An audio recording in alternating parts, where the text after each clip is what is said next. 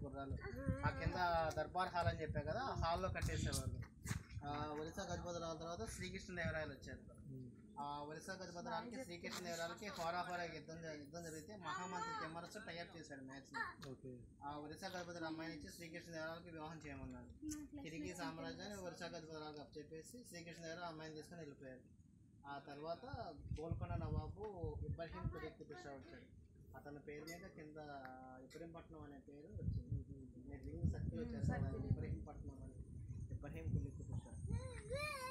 ఆయన వచ్చినప్పుడు ఈ మొఘలు ఈ ఆర్చెస్ అన్ని నిర్మించారు ముస్లిమ్స్. ఆయన తర్వాత గవాన్ గవాన్ తర్వాత నిజాం వీళ్ళంతా వచ్చారు. లాస్ట్కి వచ్చేసేవాడికి బ్రిటిషర్స్ వచ్చి మిలిటరీది ట్రైనింగ్ స్కూల్ పెట్టారు. వాళ్ళు కొన్ని సంవత్సరాలు పెట్టి చేశారు మళ్ళీ తర్వాత వాళ్ళు ఫైనాన్షియల్గా ఇబ్బంది పడి కోర్టుని బ్యాక్ చేసి వెళ్ళిపోయారు. అందుకని పైన మనకి రాణి మహాల్ ఇవన్నీ రోప్స్ అన్నీ హాల్ పైన థర్టీ ఫైవ్ పిల్లర్స్ ఉన్నాయి కదా పైన కూడా రూప్ ఉండేది అంతా పడిపోయింది బ్లాక్ చేసి వెళ్ళిపోయారు ఆ- వాళ్ళు బ్లాక్ చేసి వెళ్ళిపోయిన తర్వాత నూట ఒకటి సంవత్సరాల దాకా కోట మొత్తం మూతపడిపోయి ఉంది.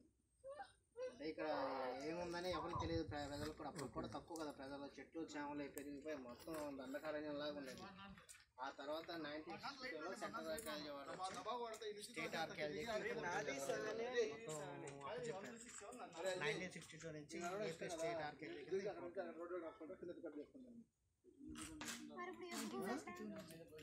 భూమి అంటే మనకి మీరు వచ్చారు కదా ఫోర్ట్కి అదంతా back side fort ticket counter fort entrance మొత్తం ఇక్కడ మనం వచ్చేటప్పుడు చిన్న ఎంట్రన్స్ ఉంది చూడు మెట్లు ఉంది అది మెయిన్ ఎంట్రన్స్ మెయిన్ ఎంట్రన్స్ ఆ కింద నుంచి. అదేమో నడక దారి పక్క నుంచి. ఇసుకుంది కదా మీరు కార్ పార్క్ చేస్తారు కదా ఇప్పుడు అన్ని ఓన్లీ గుర్రాలే కదా గుర్రాలు. ఏనుగులు రథాలు ఉండేవి ఆ భోగం దాని మేడ అని ఉంటుంది అప్పుడు రాజుగారి కింద నత్యం అని కంప్లీట్. ఆ మేడ వచ్చి అక్కడి నుంచి కొంచెం ఫర్ లాంగ్ వెళ్ళాలి వన్ కిలోమీటర్. అది వాచ్ టవర్ దారి ఉంది వెళ్ళాలి ఇప్పటికి కనపడినాయా స్టోన్స్ అన్నారు మీరు ఇందాక ఇంకా. దీంట్లో స్టోన్స్ పెడతారు అని చెప్పారు. స్టోరేజ్ కోసం. Weapons weapons weapons cannons cannon అన్ని